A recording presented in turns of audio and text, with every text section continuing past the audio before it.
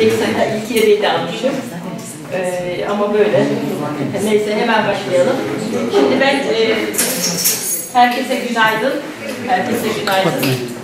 Geçen e, hafta, pardon 24, 24, 25 tarihleri arasında, e, Ekim tarihleri arasında e, Sağlık Bilimleri Enstitüsü toplantısına katıldım.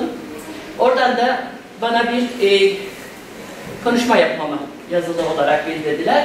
Konuda İstanbul Vakıf Üniversitelerinin e, Sağlık Bilimleri Enstitüsü'nün durumuydu. Ben öyle bir işte slide hazırladım. Öncelikle bu slaytı sizinle kısaca vaktinizi almadan paylaşacağım. Ondan sonra da toplantıda o günkü yok YÖK Başkan Vekili e, Sayın Başkan Vekilimizin de olduğu toplantıda, konuşma yaptığı toplantıda diğer konuları kısaca vaktinizi almadan anlatacağım. Ee, İstanbul'da aslında bana gelen konu genel bir konuydu ama ben İstanbul'da topladım tabii. Bütün Türkiye'yi kısa bir zamanda vermişlerdi.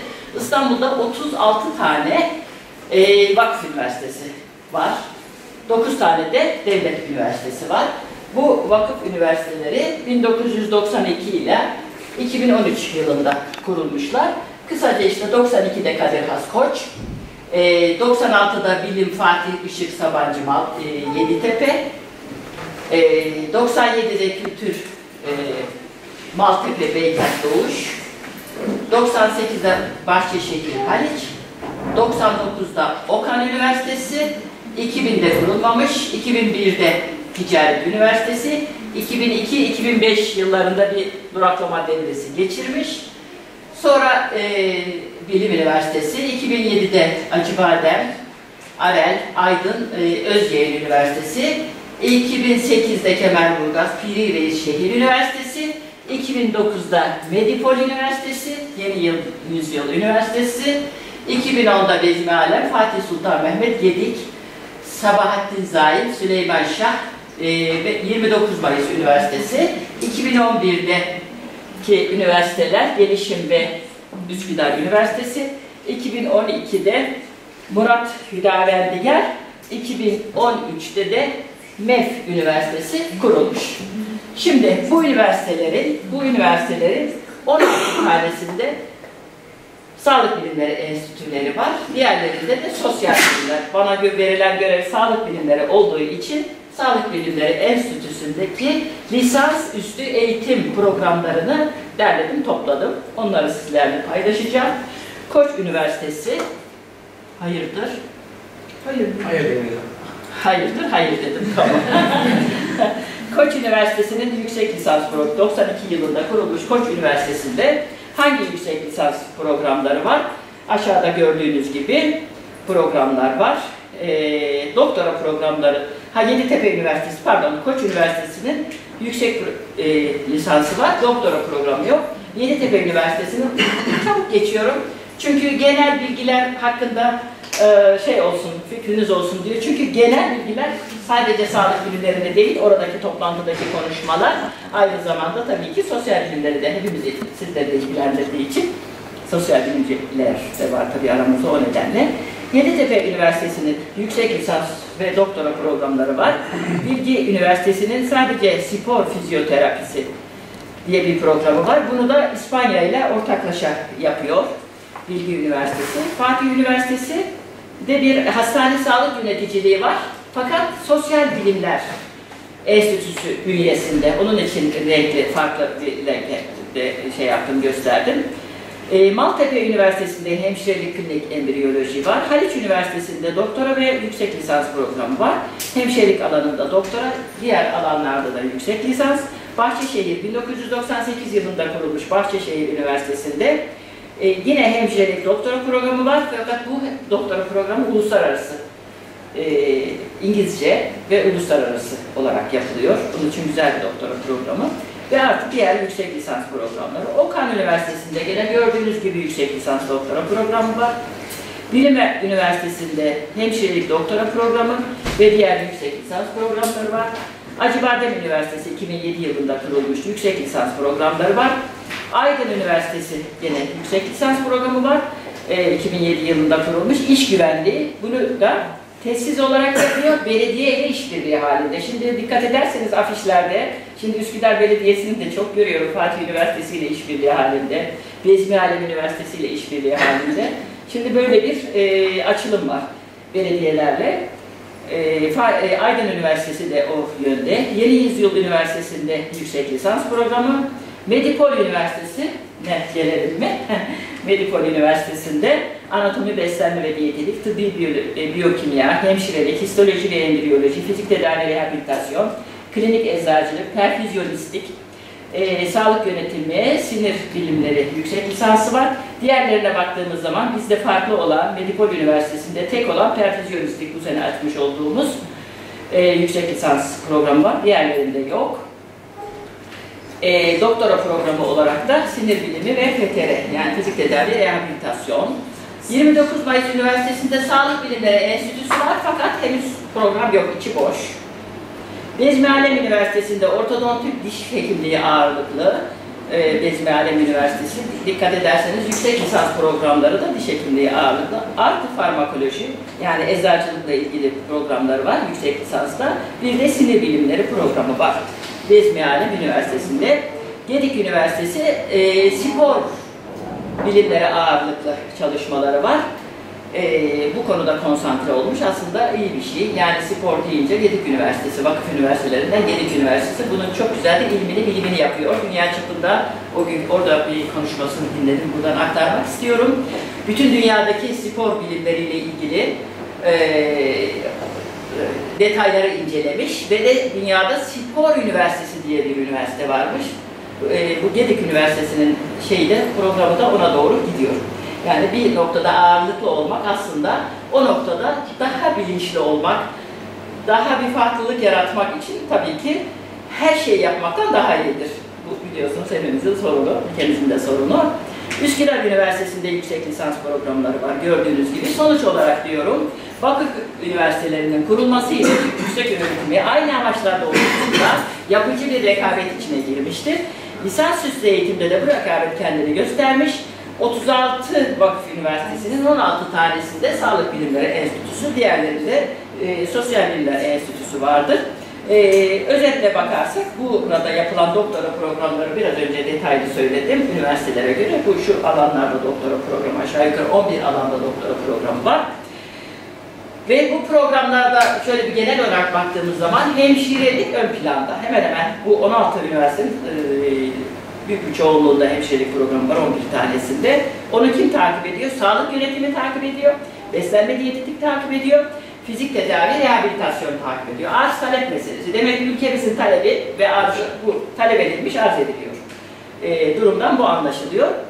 E, şimdi yalnız beni burada dikkatimi çeken bir nokta oldu. Onu müsaade ederseniz sizlerle paylaşmak istiyorum. E, benzer konuyu ayrı üniversiteler ayrı isimler altında telaffuz ediyor. Bence bu ciddi bir sakınca. Çünkü bir isim değişikliği değil, ufacık bir değişiklikten dolayı biliyorsunuz e, hani bu insanlar akademik olarak ilerlemek isterlerse sen doçent olamazsın. Aynı şey okumuşsun, kaybolmaz gibi çok büyük sorunlar yaşıyoruz e, ülkemizde ve bu nedenle de gençlerimiz hem de çok çok iyi yerlerde hani itibarlı üniversitelerde, Batı'da, Amerika'da, İngiltere'de doktora yapmış, itibarlı üniversitelerdeki gençlerimiz burada telef oluyor, giremiyor doçentlik imtihanına. Veya yarın doçent olamıyor, bu sıkıntılar var. Burada da o dikkatimi çekti yani e, farklı yönden. Örneğin mesela sağlık ve hastane kuruluşları yönetimi. Sağlık kurumları yöneticiliği, sağlık yönetimi e, yönetimi, sağlıkta kalite yönetimi, hastane işletmeciliği.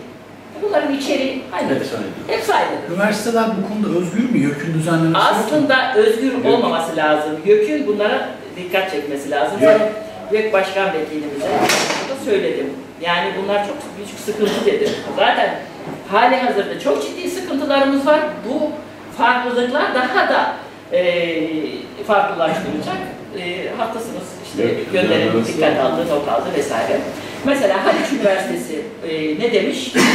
farklı demiş. Bahçeşehir Üniversitesi farklı isim koymuş. Okan Üniversitesi ile e, Okan Üniversitesi farklı, Yeni Yüzyıl farklı, Medipol üç tane bir şeylik var, birliktelik var. Sağlık yönetiminde bir birliktelik var dikkat ederseniz.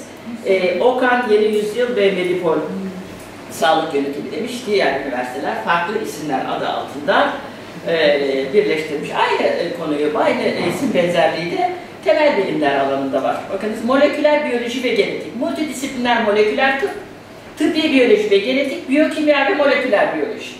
Bunların içi ayrıdır. Aynı şeyleri anlatırız. Farklı şeyler değil. Yok bunları. YÖK'ün dikkatine ciddi bir şekilde sundum. Evet. YÖK İnşallah bunu bu bilmiyor kadar Yani o kadar YÖK'ün de o kadar anlar, yani bizim ne kadar sıkıntımız varsa anladığım kadarıyla YÖK'ün de o kadar sıkıntısı var. Diyor ki hocam 80 tane programa bir tane e, görevlimiz var diyor. Bir uzmanımız var diyor. Yani böyle bir akıl almaz nasıl bizim İsmail Bey, İsmail Kaynak e, Tıp Fakültesi'nin sekreteri, genel sekreteri, diş hekimlerinin genel sekreteri, Sağlık Bilimleri Enstitüsü'nün genel sekreteri, Sağlık Yönetim Fakültesi'nin genel sekreteri. Yani böyle bir yol, benzer bir yoğunluk sanki şeyde var. YÖK'te var öyle anladım. Olmaması gereken bir durum. Acilce çözülmesi gereken bir durum. Dolayısıyla bu kadar yoğun işlerde bu detay gibi görünüyor ama hiç detay değil. Gençlerimizin önünü kapatacak yollar. Gençlerimizin önünü kapatacak yollar. Bu yolların acilen açılması gerektiğini hakikaten geniş bir şekilde tartıştık söyledim. Yani hatta ben yazılı olarak da Sayın Başkan'a, Başkan Vekiline yazılı olarak bizzat kendisine gönderdim bunu. Ee, diğer bilgilerimde, diğer fikirlerimde gönderdim. Çünkü tabii oradaki iki günde yoğun programda göreceksiniz. Hepsini birden e, algılaması mümkün değil. Ama kendisi de bizzat açık e, şey verdi. E, çek verdi. Lütfen yazın dedi. La- Yazın ki dedi Hani ilgili kurumlara göndereyim, onlar konsantre olsunlar. Ben dedi hangi birine, neye konsantre olayım dedi. O da şikayetçi. Yani kadrosuzluklar, elemansızlıklar. O zaman bize dedi ki bari bir yüksek öğretim bakanlığı olsun da kadrolarınız olsun. Yani şeyiniz olsun, siyasi şeye bağlı olmayın falan. Bunlar da tartışıldı. Hakikaten e, inanılmaz bir çalışma var ülkemizde biliyorsunuz. Herkes, hepimiz çok çalışıyoruz ama bir yere varamıyoruz yani. Bir yerde tıkanıyoruz. Bir sıkıntılarımız var. Bu sıkıntılarımızı çözmek için YÖK'e, e, Yüksek Öğretim Kurulumuza gidiyoruz. O dertli. gibi ama e, elbette çok şey çözüldü. Bu da çözülecek. Hiç e, karamsar olmadım hayatım boyunca. Gene de karamsar değilim. Yeter ki konuşabilelim, derdimizi anlatabilelim. Konuşuyoruz ve derdimizi anlatıyoruz. Bundan güzel bir şey olabilir mi? İnşallah çözülecek hepsi sırasında. Herkes iyi niyetli çünkü. Evet problem nedir? Ben problemi işte söyledim önden problemi. Problem bunlardır. Yani sonuç olarak şöyle bağladım. Ben konuşmamı şöyle bitirdim. Dedim ki e, devlet üniversiteleri gibi vakıf üniversitelerinde en büyük hedefi, amacı, program yeterliliği, öğrenci yeterliliği, öğretim üyesi yeterliliği, danışman yeterliliği, öğrenci memnuniyeti, bilim ve üretime katkı, eğitimin istihdama etkisi diye bir toparladım. Yani Vakıf Üniversitesi, Devlet Üniversitesi diye bir şey yok. Hepsi ülkemizin üniversitesi. Herkes iyi niyetli bir şeyler yapmaya çalışıyor imkanlar dahilinde. Diyerekten konuşmamı bitirdim ve balonlarla teşekkür ettim. Biliyorsunuz gelen var mı buradan? Ben balonlara ve Kapadokya köyüme meraklıyım. Çok şükür bu sene Medipol'den epey gelip de oraların tadını çıkaran oldu. Sağ olsun sayın rektörümüz dahil. Evet. Şimdi gelelim, eee, gelelim sizin daha fazla vaktinizi almadan kusura bakmayın hızlı gidiyorum. O toplantıda yani 24'ünde 25'indeki toplantılardaki ana başlıkları gelelim. Neler konuşuldu bu toplantıda? Benim katıldığım bu toplantıda konuşmamın özetini söyledim. Şimdi lisansüstü eğitim standartları. Hepimiz işte biraz önce söyledim, ben de konuşmamda söyledim. Program yeterliliği, danışman yeterliliği, danışman yeterliliği, kadrosuzluk vesaire bunların çözülmesi. Bunlar konuşuldu. Malum konuşmalar bunlar, bitmeyen konuşmalar. Ee, öğren- öğrencilerin, lisansüstü öğrencilerimizin yüzde doksandan fazlası kadrosuz çalışıyor. Yani 50D'nin geri gelmesini, devletin doktora için, kesinlikle işteyse doktora için kadro vermesi. Büyük bir talep, büyük bir çığlıktı. Oradaki katılan kaç tane? 100 tane, yani Türkiye'de aşağı yukarı 100 tane katılımcı vardı. 100, 100 üniversitenin sağlık bilimleri, enstitüsü oradaydı. Herkesin en büyük sıkıntısı e, kadroydu. Yani öğrencinin, doktor öğrencisinin parasız çalışmasının insani olmadığı, doğru olmadığı, buna mutlaka bir çözüm bulunması gerektiği. Avrupa ülkelerinde olduğu gibi üniversitelerin de siyasi iktidarda temsil edilerek ülkeden daha fazla pay alması gerek. Üretim yapacak bilim insanlarını parasız istihdam etmek zor tabii. Zordu. Dolayısıyla verim de alınmıyor. Konu buydu. O başlığın konusu özeti buydu. Şimdi Orpheus diye bir şeyler bahsedildi. Orpheus ne demek? Organization for PhD Education Biomed Biomedicine and Health Science in European System açılımı. Or Nedir bu? Yüksek öğretimde standartizasyonu getirmek için e, uluslararası bir kuruluş, Avrupa, Amerika ve diğer ülkelerin katıldığı bir organizasyon. Bizim Bologna süreci gibi, yani lisans eğitimindeki Bologna süreci gibi Orpheus diye yüksek lisans eğitiminde bir kuruluş var. E, bu kuruluş ne yapıyor? Orpheus diploma eki veriyor. Tabii üye olmanız gerekiyor. 400 euro, neyse aidatı ucuzmuş. Çünkü bu kuruluşlara bir üye oluyorsunuz, aidat ödüyorsunuz. Yani o size ne yapıyor? Bizim yapmak istediğimizi bize dayatıyor. Biliyorsunuz. Şeyde yani Bologna sürecinde aynı. Ne yapıyor? Da, e, doktoraya kabul şartlarında yüksek tutulması, programların niteliği, danışman ve öğretim üyesi niteliği, öğrenci memnuniyeti, eğitimin bilime katkısı, eğitimin istihdama katkısı. Ben bunu daha önce zaten söylemiştim, bundan haberim yoktu. E, hepimiz aynı şeyleri istiyoruz. Aklın yolu bir. Hepimiz kaliteyi yükseltmek istiyoruz. Daha iyi öğrenci yetiştirmek istiyoruz. Ülkemize daha faydalı e, lisansüstü eğitimi, bilim yapacak insanları yetiştirmek istiyoruz. Orpheus ne yapıyor? Orpheus da diyor ki, e, size diploma eki vereceğim. Sizin lisansüstü öğrencilerinizde ne yapacak?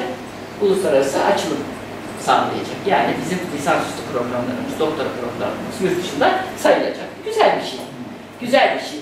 Ama bunu yapmanız için diyor, ben sizi denetleyeceğim diyor. Neyi, ne yapacağım diyor, bakayım doktoraya kabul şartlarınız uygun mu? Kimleri alıyorsunuz? Hangi e, puanla alıyorsunuz? E, mesela şimdi Hacettepe şey yapıyor, hani bütünleşik doktorada yüzde bire ilerleye alıyor falan. Mesela o muhtemelen Orpheus'e hemen katılacak gibi. Ne yapıyor? Danışmanınız, danışman öğretim üyeleri e, yeterli mi? Öğrenci memnun mu? Öğrenci memnuniyeti pozitif mi? Öğrencinin bilime katkısı nedir? Ne kadar SCI veya uluslararası dergilerde yayınlanacak, e, yayınlanmış şeyler çıkıyor, e, araştırmalar, çalışmalar çıkıyor bu doktora çalışmalarından. Bunları görüyor. Doktora çalışmasına en az iki tane pardon belki de üç olabilir, iki istiyor, yayın istiyor. Yani doktora bitmeden önce bizim o zaman en az bir taneyi mecbur tutmamız lazım. Yani kalite böyle yükseliyor. O da bizi zorluyor. Bizi zorluyor. Bizim öğrencilerin ee, diplomalarının yurt dışında geçerli olması sonuçta sağlanıyor. Olay bu. Orpheus'un anlamı da bunu ben de bilmiyordum. Orada öğrendim. Öğrendiğimi de sizlerle paylaşıyorum. Evet. Bunun için de 400 euro senede bir şey değil yani. Çok daha fazla paralar ödüyoruz üyelikler için. Şimdi enstitülerin özlük hakları, işte enstitülerde para yok biliyorsunuz, sağlık bilimlerinde de para yok, sosyal bilimlerde de para yok. Üniversitelerin imkanlarıyla bir şeyler yapılıyor. Şimdilik bu böyle, ileride e, ancak ancak Yüksek Öğretim Bakanlığı olursa o zaman daha bir farklı bütçeler bizim için çıkabilir. Bunlar konuşuldu bu başlık altında. Yani böyle bir başlık vardı, bir e, hocalardan bir tanesi işte bu konuyu açtı özetle. Lisansüstü e, eğitimle ilgili düzenlemeler. E, bundan çok şikayet edildi. E, hepimiz bundan şikayet biliyorsunuz. Ayda bir neredeyse lisansüstü eğitimde değişiklik oluyor. Artık takip edemiyoruz. Yani her dakika bu değişiklik olmasın. Hakikaten takip etmek çok zor. Yani bir, şey kalıcı olsun. O çok tartışıldı, Sayın Başkan'a iletildi. E bunu getirdikleri, götürdükleri tartışıldı.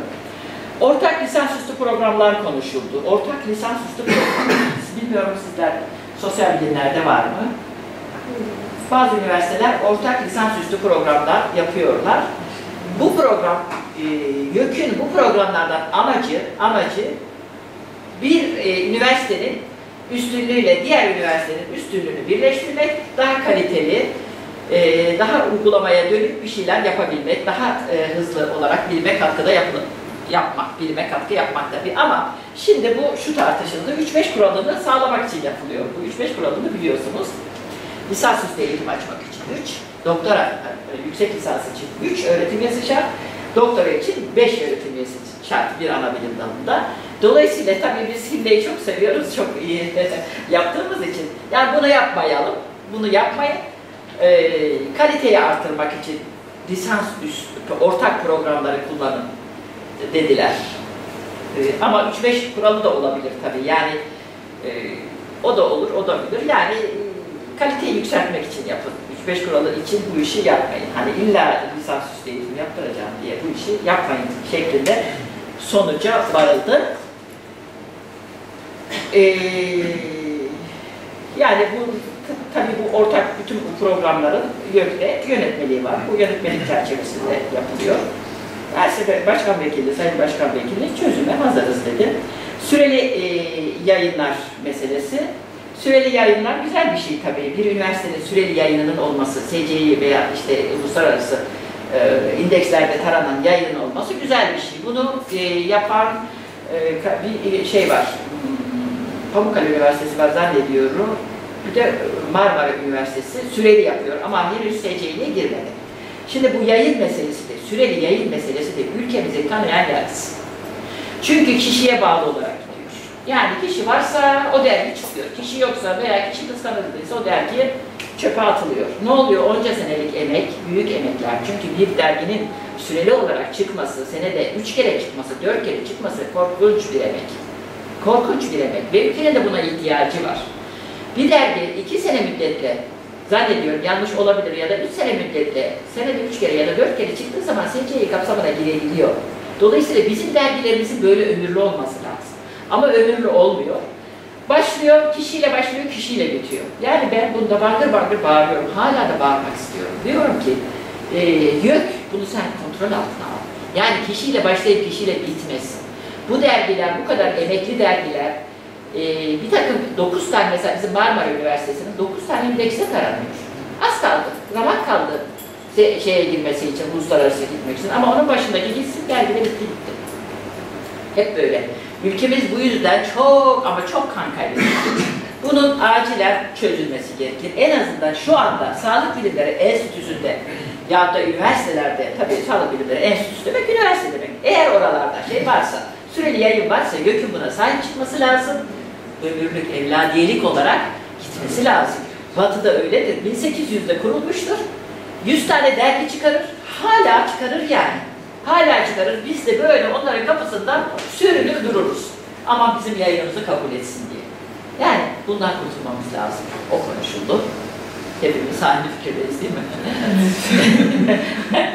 e, efendim son olarak da e, şey koydum, e, Şaban Çalış Yüksek e, Öğretim Kurulu Başkan Vekilimiz, o da ÖYT programını anlattı.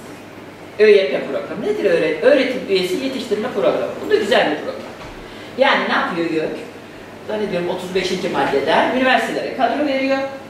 E, gelişmiş üniversitelere veya da şu anda Vakıf Üniversitesi yok. Keşke olsa. Biz de aslında yeterliyiz ÖYP için. Yani öğretim üyesi yetiştirmek için. Bence ben yeterli görüyorum.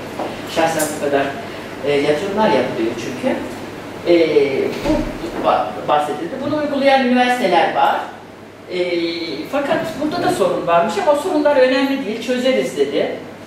E, 2023 DPT tarafından başlatılmış olan bir program bu. 2023'e kadar her yıl 12 bin araştırma görevlisinin sisteme girmesi lazım diyor. Hedefleri tutturmak için. Bizim şimdi bir 2023 hedefimiz var. Cumhuriyetimizin 100. yüzyıl hedefimiz var. Orada büyük olmamız lazım. Nasıl? Yani o program, DPT onun için yapın. DPT bu programı onun için başlatmış. E, fena da değil aslında gidiyor. Yani 2023 yılında 5,5 milyon öğrenci 300 bin öğretim üyesi öngörülüyor. Dolayısıyla bu hedefi tutturmamız lazım. Dedi başkan şu ifadeyle kullandı. Biz insanın itibarı zedelenmeden kendi hakkıyla bu mesleğe sahip olmasını istediğimiz için merkezi yerleştirmeyle en yüksek puan alanın hakkını koruyoruz. Koruyacak sisteme itibar ediyoruz dedi. Çünkü ÖYP'de tek şart var. ALES yüksek olacak. Yani o zaman diyor işte bunu demek istiyorum. ALES'i yüksek tutmak. Ha ALES her şey. O da ayrı mesele. O da, o da tartışıldı. ALES bazen hiçbir şey olmuyor. Yani e, bazen çok şey oluyor, bazen hiçbir şey olmuyor. İşte yani 2023 hedefini bir şekilde tutturacağız. ÖYP bu. Öğrenci e, yetiştirme programı. Şimdi şunu da söyledi Başkan Vekilimiz. 1416. maddeyle biliyorsunuz eskiden bu e, Milli Eğitim Bakanlığı'nın 1416. maddesi ve yurt dışına doktora yapmak e, üzere gönderilen öğrenciler 10 yıldaki başarısı yüzde yirmi. Hepiniz şahit olmuşsunuzdur. Ben de buna şahidimdir. Yani çok güzel paralarla, milli, yani büyük paralarla gidiliyor. Doktora yapmak için devletten destek alınıyor, alınıyor, alınıyor. Ondan sonra ben yapamadım diyor, geliyor. Beş sene orada evleniyor, çocuk sahip oluyor falan falan yani. Ama hiç kimse hesap sormuyor. Yani ben seni doktora için gönderdim, bu kadar para e, verdim. Sonra geliyor doktorasını burada veriyor. Türkiye şartları. E ben o zaman parayı sana niye verdim diye kimse hesap sormadı şimdiye kadar. Biliyorsun 1416. maddeyi. Yüzde yirmisi sadece başarılı. Yüzde sekseni telef. Yani devletin parasının, o büyük paraların yüzde sekseni telef oldu şimdiye kadar. Ben çünkü şahidim, sizler de şahit olmuşsunuzdur. Hoş geldiniz hocam. E, bu konuşuldu. Dolayısıyla dedi, dolayısıyla dedi, durum böyleyken biz ÖYP'ye itibar ediyoruz. Her ne kadar ALES her şey bilse de, her ne kadar sıkıntıları varsa da sıkıntıları birlikte çözelim. Ama bu ÖYP'ye yani öğrenci yetiştirme programına itibar edelim. Lütfen destek verin. Bunluktaki şeyleri dedi. Hmm. Eksikleri, hataları hep birlikte göğüsleyelim. Bu program hayatta kalsın. 2023 Cü programla hedefleyelim. Yani bir şey yapalım. Sayın Başkan Vekilimizin de konuşması bu yerdeydi. Efendim üzüm bağlarımızla size teşekkür ediyoruz. Kapadokya'da üzüm bağları. Çok teşekkür ederim.